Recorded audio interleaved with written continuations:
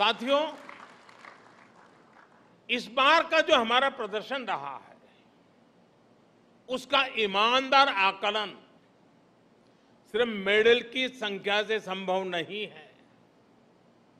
हमारे कितने खिलाड़ी इस बार नेक टू नेक compete करते नज़र आए ये भी अपने आप में किसी मेडल से कम नहीं है। ठीक है कि point one second point one centimetre का फासला रह गया होगा।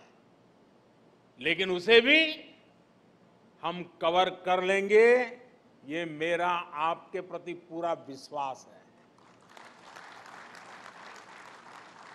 मैं इसलिए भी उत्साहित हूँ कि जो खेल हमारी ताकत रहे हैं, उनको तो हम मज़बूत कर ही रहे हैं। हम नए खेलों में भी अपनी छाप छोड़ रहे हैं।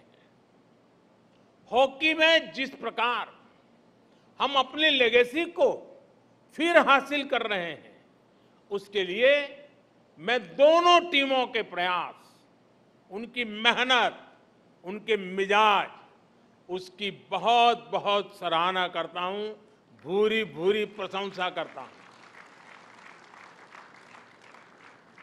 पिछली बार की तुलना में इस बार हमने चार नए खेलों में जीत का नया रास्ता बनाया है।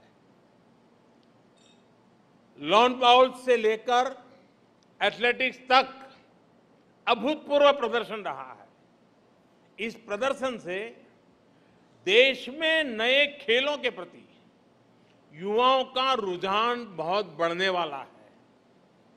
नए खेलों में हम इसी तरह अपना प्रदर्शन और सुधारते चलना है। मैं देख रहा हूँ, पुराने सारे चेहरे मेरे सामने हैं।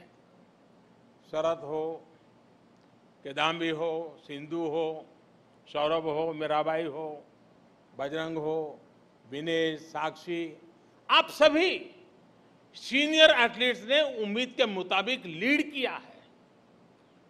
हर एक का हौसला बुलंद किया है।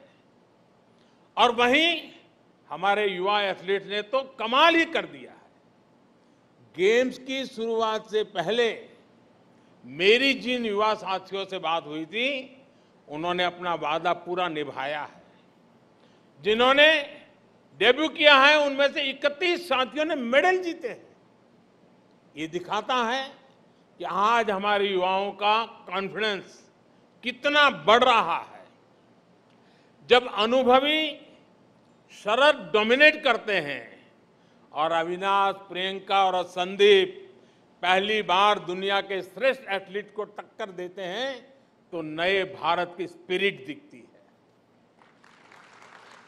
स्पिरिट ये कि हम हर रेस में, हर कंपटीशन में अड़े हैं, तैयार खड़े हैं। एटलीस्ट के पोडियम पर, एक साथ, दो दो स्थान पर तिरंगा की ओर सलामी देते भारतीय खिलाड़ियों को हमने कितनी बार देखा है।